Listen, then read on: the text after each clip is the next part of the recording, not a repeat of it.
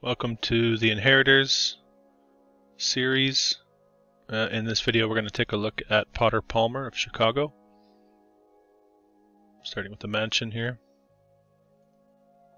There he is, Potter. Let's take a quick look at uh, his bio. So, Potter Palmer, American businessman, uh, started out in retail, got to a point, 1865, he'd had enough of that, decided to go to Europe for a couple years, came back to Chicago, and capitalized on the Great Chicago Fire, or the destruction that happened, and name is attached now to a couple um, spectacular buildings, which I'd like to go through in this video. So we'll start with the mansion. Uh, this dated 1885 built, uh, 1950 torn down. Very castle-esque this one. Got a couple pictures of the exterior.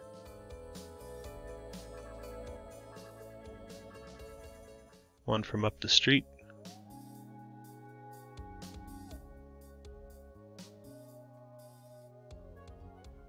This would be early on. Interesting to the rock wall in the foreground. We'll see that uh, another photo here. There you see it better. So an elevated yard, the rock wall. And there they are. This is, I find very unique as well. This could be a covering of some sort of what was there before. Unique style. and near its end at this point. Looking very old here. Certainly not looking like a 70 uh, year old building or 65 year old building. Alright, let's look at the interior. They're pretty grainy, not a lot on this one, but there's a couple. So the Gilded Age, classic Gilded Age, so early Chicago post fire. Um, we had, of course, the World's Fair 1893, and uh, a lot of buildings in early Chicago that look like this. So the level of craftsmanship here again. Look at the detail in the ceiling, the chandelier. Very, very detailed. Uh, let's look at the construction story of this building. This is from Chicagology.com. Um, you see here, 1882 the work began. Exterior work completed the next year, so everything done in a year on the exterior. Um, but they have allowed for two years for all the interior work to be finished. Of course, we get the architects credited, and of course the builder. I should say the one who funded the project, but builders never getting credit. Uh, craftsmen, craftsmen never getting credit. Let's take a stroll through this house now. Now looking a lot like a museum, and I know it was used as such later on in its life. Gets a bit grainy as I zoom here, but you get a sense of the wainscoting here and the column work. And again, how the furniture matches the building. I think the story on these uh, furniture um, is that the owner was a collector, and it just so happened they were had such good taste they were able to match things to their home. But I think the furniture seems to go with the building. Look at the detail here. Very extravagant, all of this. Unique, extravagant. This shape here is very eye-catching. Would like to see this one in color. Bit of a painting up here. Some curves, everything finished. No square inch left untouched.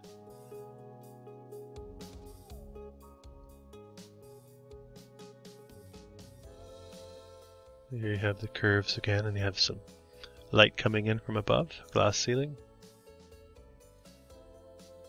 Uh, same room, curtains closed. Herringbone floor, see that a lot in the old world buildings. The lights in this one really catch my eye. Very unique. I would love to see this in a clearer resolution. Very interesting looking. Again, no square inch left unfinished. There you have that fireplace with the these two things in the fireplace, not looking like something you'd want to burn wood in.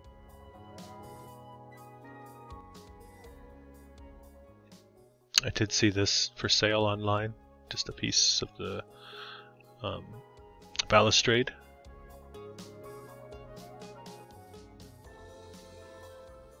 Same as previously. This one really, I find incredible. These uh, dragons, would you call them, on the light fixtures. Just overly done. I, I know the Gilded Age has a reputation for being overly done, but you still have to make it and have someone that's able to do it. And there must have been either armies of these people at that period of time, or something's off about the timeline. Eh, In 1950, they tore it down. Doesn't look like an easy feat, tearing a building like this down. You look at the rubble. So there he is again. That's a bust of Palmer. Uh, this apparently from 1871. Not sure why, going so far back, he hadn't really developed a reputation as of a real estate mogul. Still coming off the uh, retail end of things. Let's look at the other buildings attributed to his name. So this is a series of basically the same building. Um, the Palmer House in Chicago. This would be the first hotel that didn't make it through the fire. This would be the second, which was torn down in the 20s, and this would be the one that replaced this one. So we'll start with the original. And the Wikipedia page walks you through the three versions of this hotel. They call it the house. First Palmer House. So 1870 opened. Burned one year later, so it lasted only a year. Uh, burned in the Great Fire. And the second one had to be built. So let's look at the first one. So we are to believe that this building here lasted only one year. Uh, looking very finished around the outside of it. Curbs. Um, all of this lasted one year. And there's the devastation from the Chicago fire in that location. Yes, fire can create this type of damage, apparently.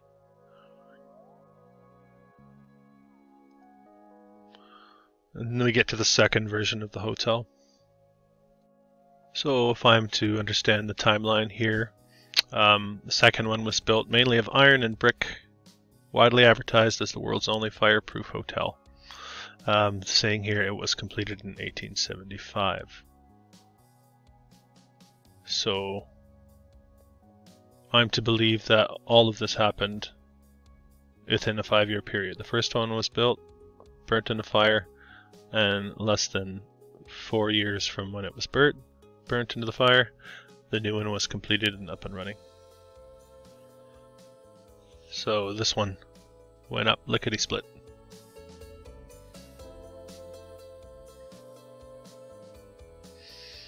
And there's a bit of a, an anomaly here in the timeline. I've got this um, talking about how it began. Construction on this began in 1870 and it was completed in 1873, so does not jive with the uh, Wikipedia timeline, which is interesting. Uh, this one I like, it's giving you some visuals of what you might have seen on the inside. And a spectacular view here as well. Horse and buggy days. There's the horses pulling the trams. There we see what it might have looked like in the restaurant. I suspect this is up by the dome.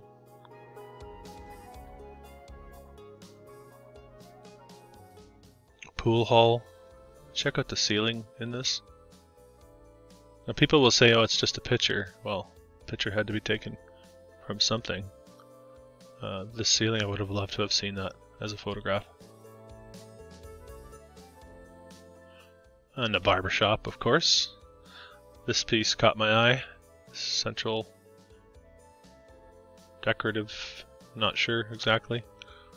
But again, no detail. No detail left to spare. This is from the 1880s, this picture. Very grainy, I know, I apologize for that, it's the best I could find. But you do still get a sense of the detail here. And remember, they slapped this thing up and I think they're allowing for four years. Or three, depending on which timeline you, you look at. And the third version of the hotel.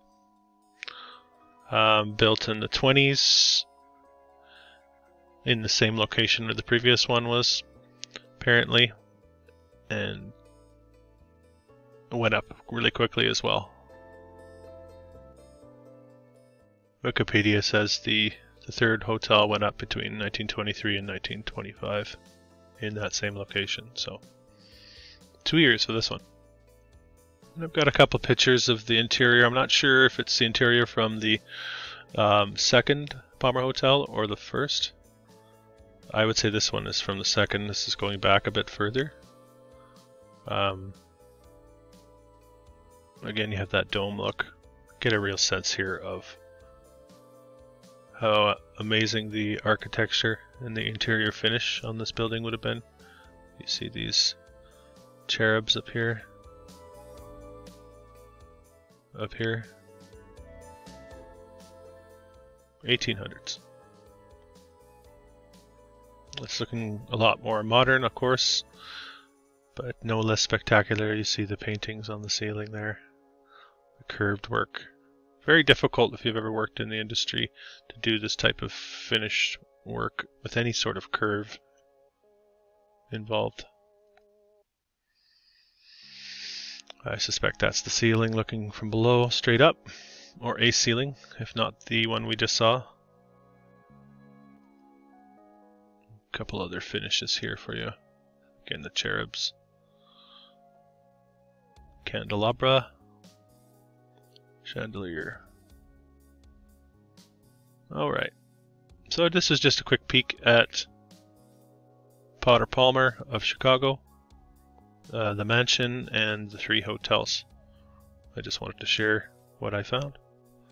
I hope you enjoyed this video. If so, please like, share, and subscribe, and feel free to comment. Uh, I'm happy to discuss any of this further with anyone who watches my videos. I'm just seeking, seeking like anyone else. Thanks for watching.